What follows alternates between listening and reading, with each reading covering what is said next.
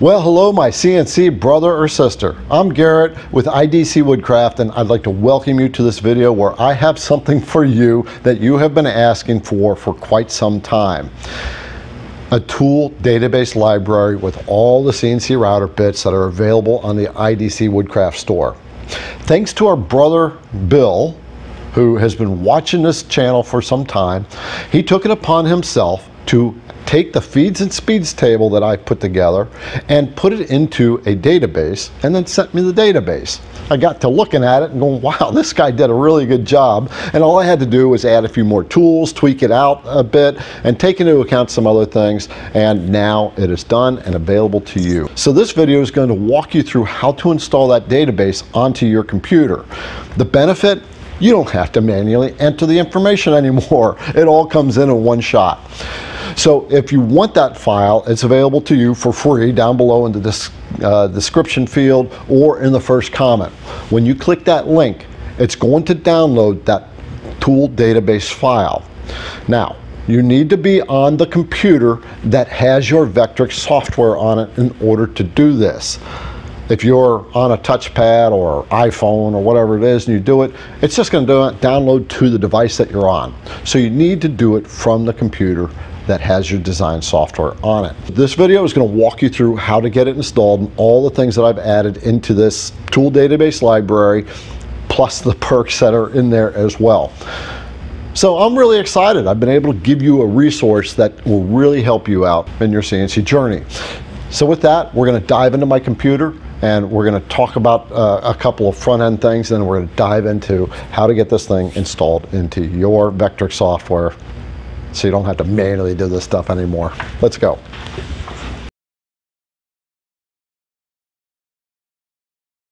We are on my computer now. And before we start up with this instruction to import the database for the Vectric tool library for the IDC Woodcraft tools, there's a couple things I want to share with you. The first one is that mm-hmm. this method that I'm showing you will work for all the CNC router design variants of Vectric. What I mean by that is if you have Cut2D, regardless of whether it's Pro or desktop, or if you have the V-Carve series, regardless of whether it's Pro or desktop, or if you have the Aspire version. This will work on all of those. I know that this tool database works on version 10 and 11 when you import it. If you have an earlier version, I don't know. I don't have that, but I don't see why not it would import into your software. The other thing I want to tell you is that this is for the Vectric software. It is not for any other software to the best of my knowledge. I don't use anything else, nor will I create this database for any other software. If you want that, you can download the feeds and speeds table or review that that has come with this file and input your information into your software manually. So I am going to go into the Vectric Pro software. We get it launched and the first thing comes up is a blank screen and you have the menu over here on the left. Up top we have create a new file, new file from a template, and open an existing file. It doesn't really matter which one we open up because we're not going to be messing with the design at all. We're going to be just working with the tool database. And that is something of an independent feature that Vectric looks at when it's or when you are selecting your bits for your project. But for all intents and purposes, we're simply just going to create a new file. Click that, and you'll get this menu on the left where you set up your project information, the size of the project, whether you're working in inches or millimeters. None of this matters because we're not doing any design work. So we're going to click OK. And then we're going to go up to the top on the left where you see this blue arrow button and we're going to click it to get over to the toolpath commands. Select that and the menu on the right opens up. On that menu, you're going to see an icon that looks like this. When you hover over it, it's going to say Display Tool Database. It has an image of three tools on it. Select that image and your tool database library will open up. Now we see a whole bunch of things when we open up the library. We've got a bunch of things going on up the top up here, over here. We have a bunch of bits already populated in the library, buttons down at the lower left corner and buttons to the lower right corner. I am not going to explain all these features because I've already done it in another video that tells you how to populate your tool library and it tells you what all these features are for. So if you want to know that detail down in the description is the link to that video. This one just shows you how to install the database. One of the things I want you to do first is up top it says material. And you'll see something up here, whether it says softwood or hardwood. When you click this little window here, it's going to drop down and you'll see several selections. Mine has hardwood, MDF, and softwood. You might have acrylic in yours, maybe some other features like aluminum. We're going to go to hardwood. The bits that I have set up, the feeds and speeds are for medium type grain wood such as walnut, oak, harder woods actually. So that's what we want to work with with this database. So make sure that this says hardwood. The next thing I want you to do is to collapse the trees that you have opened up. So what you want to do is simply find anything that has a minus on it, just like this metric tools, click it, and it'll all collapse. If I click the plus, you'll see the Imperial tools will expand and there's all the bits in that library. We want to collapse that back down. So everything should be collapsed like this. You should just see pluses over here and no bits should be showing up, just the master header for each bit selection, selection or series. Now we're going to go down to the bottom of the screen. And there's going to be a series of buttons down here. The one we want is the one in the middle that when you hover over it, it says import a tool database. Select that button and you're going to open up a folder and you want to go to wherever the full the file is after you've downloaded it or wherever you've moved it to. I've got it in the downloads folder and it looks like this. It's going to be titled IDC Woodcraft Tool Database for Vectric. It's a VTDB file. Select that file and click open. And then this menu is going to pop up or this warning box that says how would you like to import the tools. So I am not going to go through the meaning of each one of these things. I'm just going to tell you to use the merge no overwriting button. What that'll do is that'll bring that database in independently of all the other bits that you have in here. And you'll see what happens in just a moment. You notice right here we only have three tree tops, if you will. So I am going to select merge no overwriting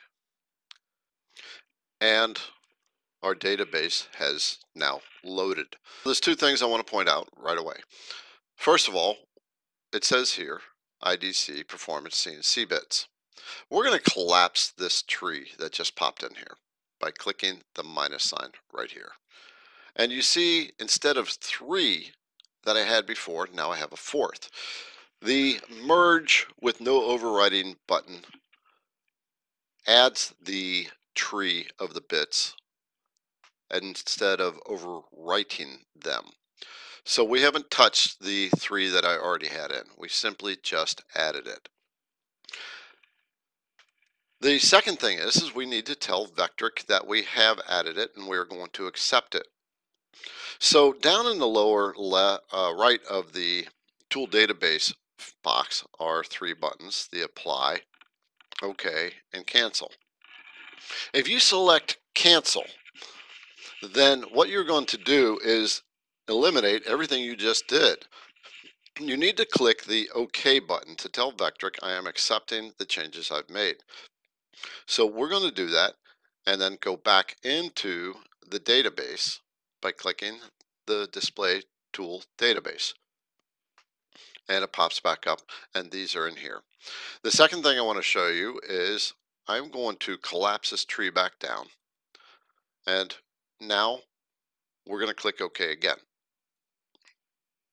And then we go back into the database and you notice that it brought in the database with everything collapsed. Vectric will remember the way you had it set last and bring it back in that way. So we're simply going to expand that IDC Performance CNC bits, click OK, and open it back up, and then you can see that is all expanded. So the second thing that I want to point out is you can see that some of the fields actually run off the end of this white area here where the text is. Now I'll probably fix this so that it is it you can see everything as it's defaulted in. But the way to read anything that is run off is simply by taking your cursor and coming off to the edge of the tool database box until your cursor turns into a side-by-side -side arrow. Hold your left mouse button down and drag it out and that'll expand that window to whatever you want to expand it to. One of the things that Vectric does not do is remember that you have expanded it to that. I've got it expanded. I'm going to click OK and then open up the database again. You can see it's gone back down to its normal width. So maybe something they can fix. The other thing I want to show you before we go any further is how we can reposition all of our bits. The video that I did on the tool database will show you what I'm going to be doing here but I just want to show you anyway. I'm going to collapse the IDC performance bits tree back down again. And then I'm going to hover over it, hold my left mouse button down, and you can see now I have grabbed it and I can move it around. I'm going to put it up over Imperial Tools. And what it did, it just repositioned it underneath the Imperial tools. I want IDC Performance CNC bits to be on top. So I'm going to click the Imperial tools and just drag it down below that and it will reposition itself. So now we have IDC Performance bits on the top. So we're going to expand that tree and we're going to talk about everything that you just imported, which is everything that's in the IDC Woodcraft store. And then there are some bits in here that are not in the store that will be eventually. And before I go on, I want to give Bill, one of our CNC brothers, a ton of credit because on his own accord, he built this and sent it to me. And then I just added all the information I did and just did some refinements and checked all the information. There's nothing like people who do things like that. It gets them on my radar. And if you have been on this channel for a while, you know that I am focused on growing the IDC business. And I have some very, very big plans with it that's uh, coming over the uh, course of a couple of years. When we plan a business and we want to go big, we plan it out years ahead of time. And so Bill has put himself on my radar because of this voluntary work that he really laid it out quite nicely up front. Let's talk about everything you see here. First of all, I want to point out this notation field over in the right area. Every bit in here has information in this field here. When we have the title IDC performance bit selected, you're going to have this bit of information, which is basically a welcome comment, and then it's going to have a link to the IDC Woodcraft store. So if you want to go shopping for bits, you simply copy that link, and then I'm going to go into my browser, Google, and in the address bar, right up in here, I'm going to paste that and the IDC Woodcraft store pops up and then you can select whatever bits that you want. So let's go back and I'm just going to show you we're going to go into a router bit. We'll take the 1 8 down cutting end mill and it has a link as well. So you simply copy that link go into your browser, paste it into the address bar, hit enter,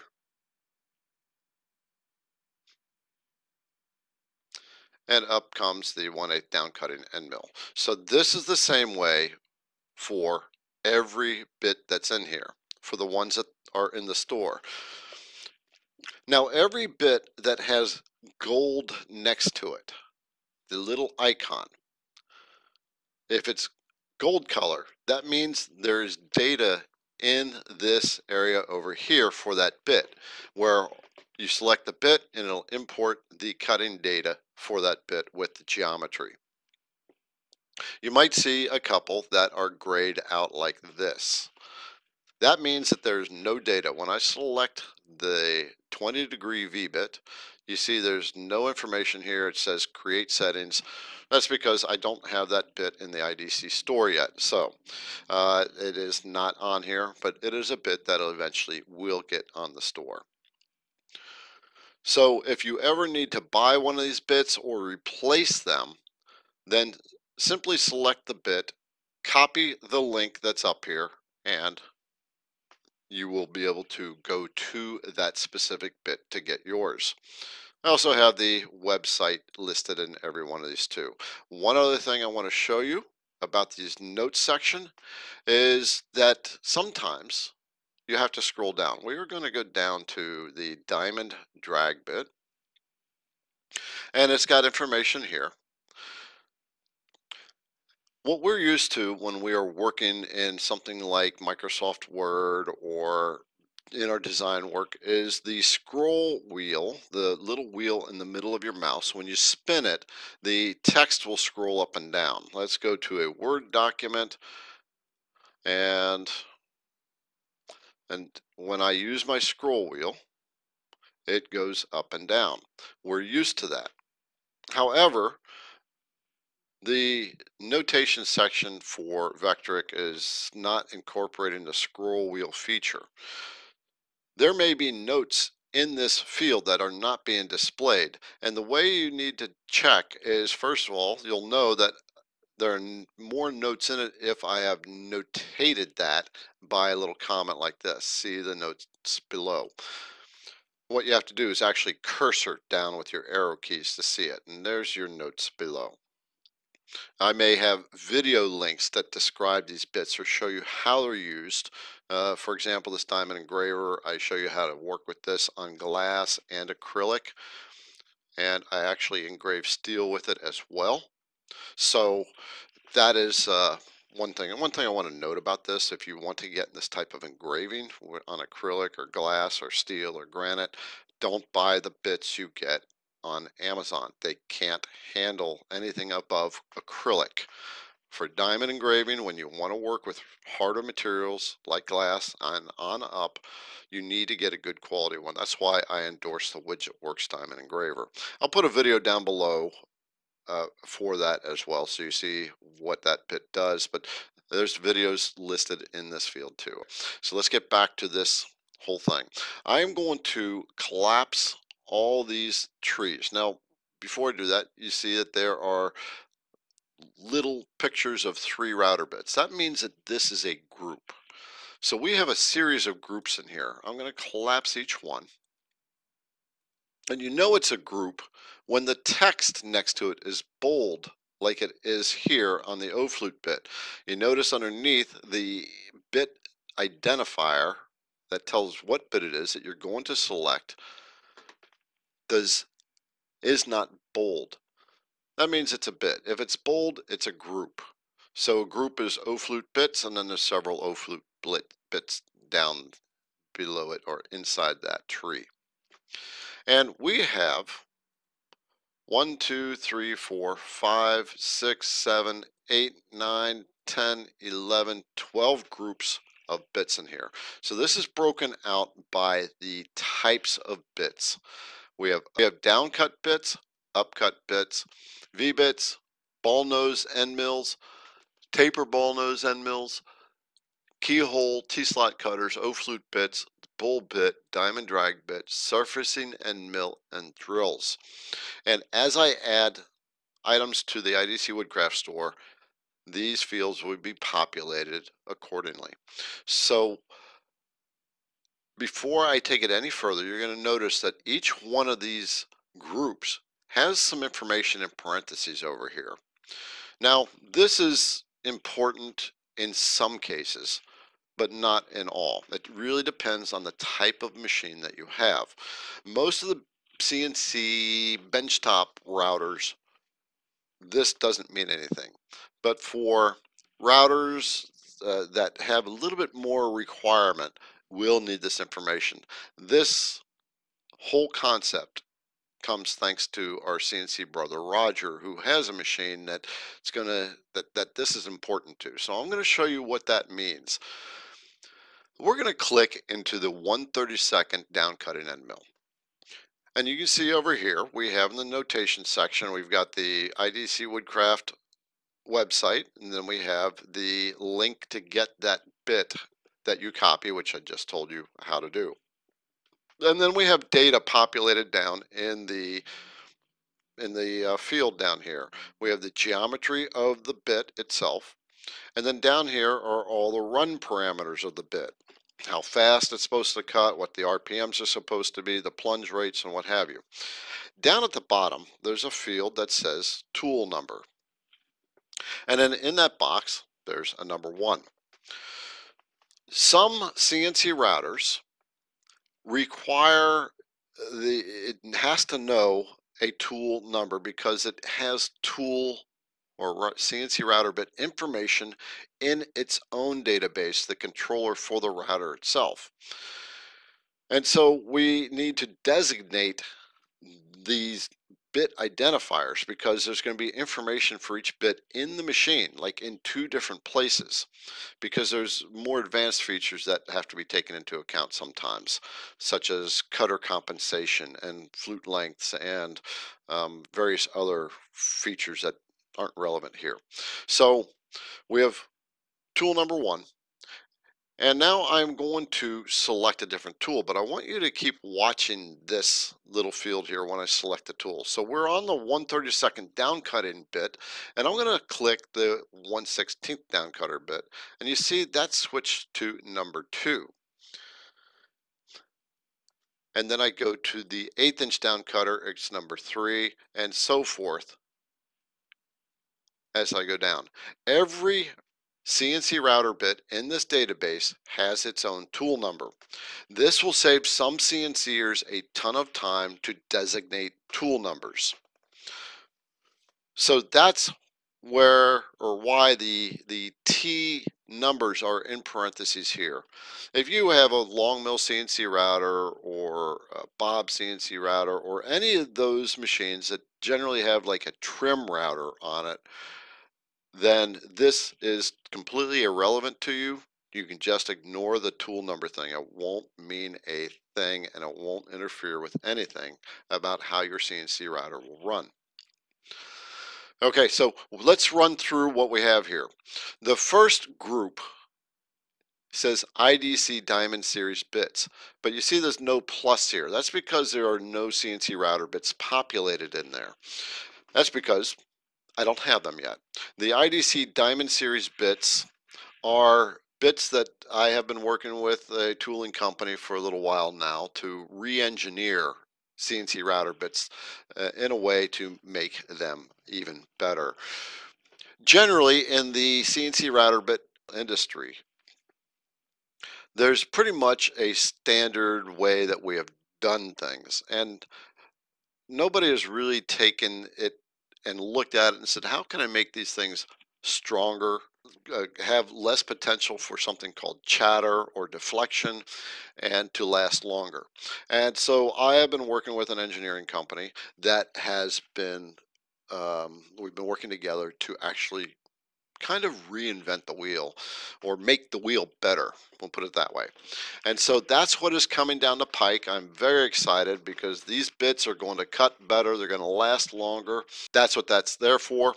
When that starts being populated, as I add them, I will populate them into the download database and they will be there. We are now going to expand into this and you see in the downcutting end mills we have the downcut end mills and then we have the compression end mills. I included them into this field, but I may make it its own field, its own group. So if it comes in like that, where you have one that says compression end mills, then that's why. And then we have the up cutters, V-bits. You see that one is grayed out. That's because, like I said before, I don't have that one in stock. There will be some notations over here where if we select, let's find one, let's go with, um, there are some here that I've got data on. They are common bits, but I actually don't carry them in the store currently. If that's the case, then up in the notation field, it will say not carried in the IDC Woodcraft store yet or not currently available. There will be a note in there for that. Some bits like the Diamond Drag bit, that is a third party company that I endorse that bit. I believe that pretty much explains everything that we have done here and you have now imported the IDC Performance CNC bits database and you can now select from these bits. You don't have to manually input them here. Of course, if you have other design software, then you will have to manually import them. I will not make a database for every software that's out there. I am a Vectric guy, and that's the way it goes. So we're simply going to click OK. Well, before we click OK, we are going to expand all these trees out because I like to have the trees expanded of the bits that I work with. And then we're going to click the OK button in Vectric and let it rock out. And this is kind of interesting because it's the first time that I've actually seen how many bits are being carried in the IDC Woodcraft store. And of course we have the drill bit. So with that, we're going to click the OK button. And we are done. You now have your tool database completely installed with all the router bits. You don't have to add anything. If this was helpful, give me a thumbs up. And of course, comments down below what you thought, or if there's anything I missed, please add that down in the comments because I'm not perfect. I don't get everything. You might want to subscribe to because I teach all the stuff about the Vectric software, everything about CNC routers like our LongMill CNC router here, which is a machine that I absolutely endorse, router bits, all that good stuff. So yeah, I hope you have a great day, better tomorrow, and we have just made your life a lot easier with your CNC router. I'll talk to you next time. Happy CNCing.